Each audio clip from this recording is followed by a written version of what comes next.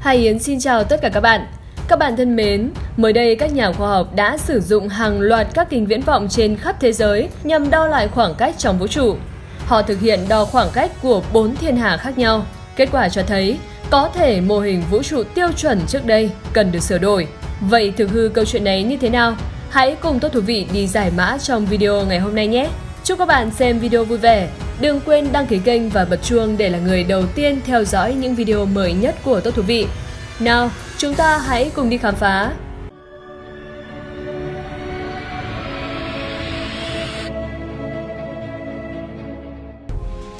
Từ năm 1929, các nhà khoa học đã biết rằng vũ trụ đang giãn nở với vận tốc được quyết định bởi cái gọi là hằng số Hubble. Nó được đặt theo tên nhà thiên văn học Hoa Kỳ Edwin Hubble khi ông và các đồng nghiệp của mình nhận ra rằng khi quan sát các thiên hà ở xa xôi, càng ở xa thì các thiên hà rời xa trái đất càng nhanh. Họ đã làm điều này bằng cách đo độ dịch chuyển của ánh sáng đến từ các thiên hà đó, hay còn gọi với cái tên khác là đo dịch chuyển đỏ. Khi dịch chuyển đỏ càng dài, chứng tỏ thiên hà càng ở xa trái đất và do đó nó di chuyển càng nhanh. Giá trị Hubble được coi là hằng số cơ bản. Đây là đơn vị đo lường được sử dụng để mô tả sự giãn nở của vũ trụ. Theo các nhà khoa học, vũ trụ của chúng ta trở nên lớn hơn từ khi vụ nổ Big Bang cách đây khoảng 13,8 tỷ năm về trước. Điều thú vị về việc mở rộng không chỉ là tốc độ mà kèm theo đó là những tác động. Theo NASA, nếu sự giãn nở bắt đầu chậm lại, Điều đó ngụ ý rằng có một thứ gì đó trong vũ trụ đang làm cho sự tăng trưởng chậm lại, có lẽ đó là vật chất tối. Tuy nhiên, nếu sự tăng trưởng trở nên nhanh hơn, có thể năng lượng tối đã đẩy sự giãn nở nhanh hơn.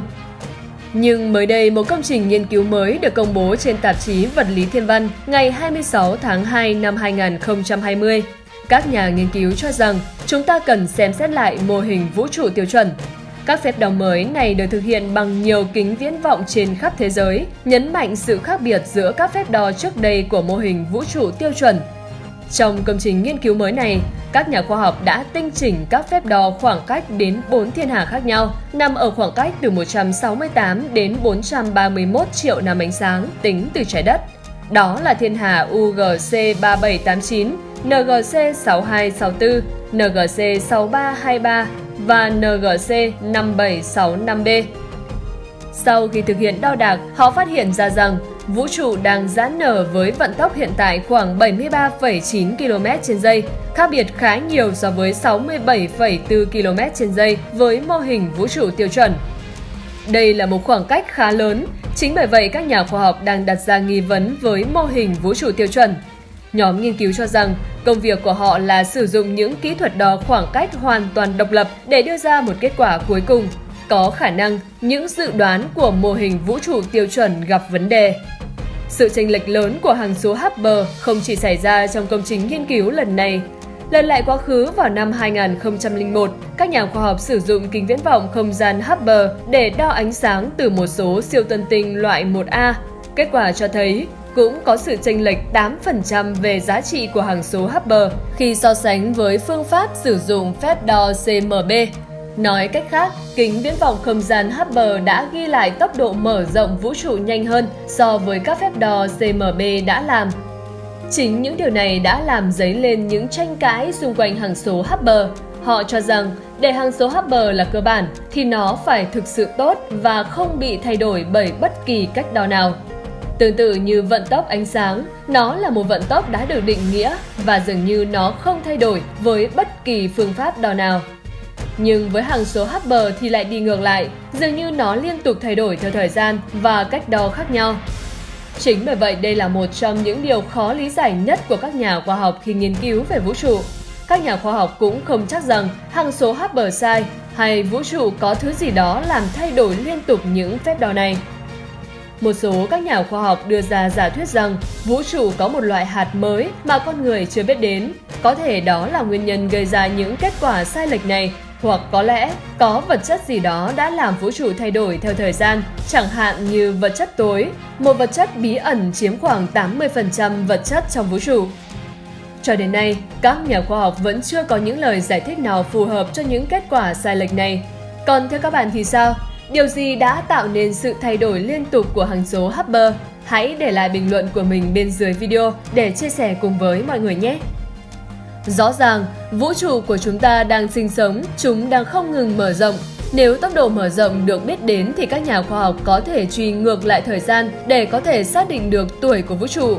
Cũng giống như việc các điều tra viên có thể làm sáng tỏ các điều kiện ban đầu dẫn đến một vụ tai nạn giao thông. Do đó, việc tìm ra tốc độ giãn nở của vũ trụ là một điều hết sức quan trọng cho việc xác định tuổi của vũ trụ. Từ đầu những thập niên 20, các cuộc tranh luận nổ ra mạnh mẽ tranh cãi về kích thước và giới hạn của vũ trụ. Một số người nghĩ rằng vũ trụ chỉ giới hạn trong giải ngân hà và các tinh vân cũng nằm trong đó. Chúng chẳng qua cũng chỉ là những đám mây khí tương đối gần được chiếu sáng bởi các ngôi sao. Và rồi xuất hiện một người Mỹ trẻ tuổi, người đã từ bỏ nghề luật sư để đến với thiên văn học tên là Edwin Hubble, mà kính thiên văn không gian sau này được mang tên của ông. Năm 1924, ông đã tiến hành đo khoảng cách tới tinh vân Andromeda bằng kính thiên văn có đường kính 2,5m vừa được xây dựng trên đỉnh Wilson. Ông đã đo được khoảng cách tới tinh vân này là 900.000 năm ánh sáng, nhưng theo đo đạc và tính toán hiện nay là 2,5 triệu năm ánh sáng, tức là vượt ra xa ngoài giải ngân hà của chúng ta, nghĩa là Andromeda trở thành một thiên hà hàng xóm với thiên hà của chúng ta. Và lúc đó, Cánh cửa của vũ trụ ra ngoài thiên hà đã được mở rộng.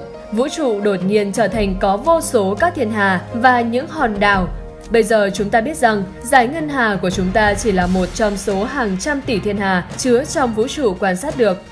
Tuy nhiên, Hubble không có ý định dừng lại ở đó. Ông đã tấn công một vấn đề đã từng làm bối rối các nhà thiên văn học trong nhiều năm Trước đó rất lâu, dù không hiểu bản chất thực sự, nhưng khi quan sát các tinh vân, họ nhận thấy rằng ánh sáng của chúng đều có màu đỏ.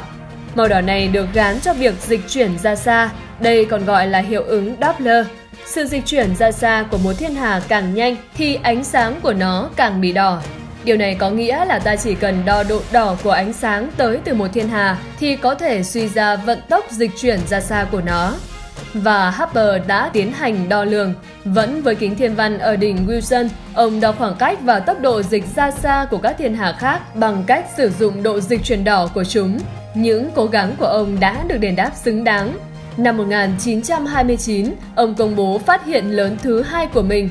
Nếu tất cả các thiên hà khác đều dịch chuyển ra xa giải ngân hà, thì chuyển động này không phải ngẫu nhiên. Và nhà thiên văn học đã tuyên bố cái mà bây giờ gọi là định luật Hubble Tốc độ dịch chuyển ra xa của một thiên hà tỷ lệ thuận với khoảng cách từ nó tới trái đất.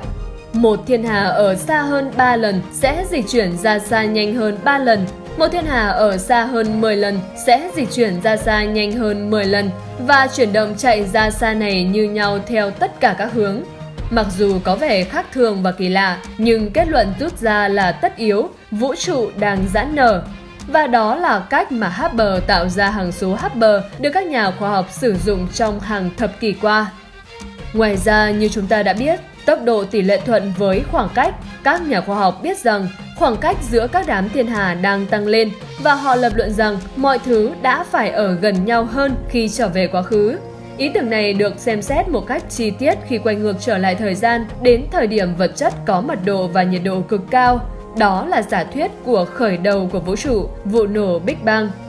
Từng có thời gian cộng đồng các nhà khoa học chia làm hai nhóm giữa một bên ủng hộ thuyết vụ nổ lớn và một bên ủng hộ thuyết trạng thái rừng. Nhưng ngày nay, hầu hết các nhà khoa học bị thuyết phục bởi kịch bản của lý thuyết vụ nổ lớn phù hợp nhất với các quan sát đo lường sau khi bức xạ nến vi sóng vũ trụ phát hiện vào năm 1964 và đặc biệt khi phổ của nó được phát hiện phù hợp với bức xạ vật đen. Từ đó, các nhà thiên văn vật lý đã kết hợp với những dữ liệu lớn trong quan sát và đưa thêm những tính toán lý thuyết vào mô hình vụ nổ lớn và mô hình tham số của nó hay mô hình lambda GDM trở thành khuôn khổ lý thuyết cho những nghiên cứu hiện đại về vũ trụ học.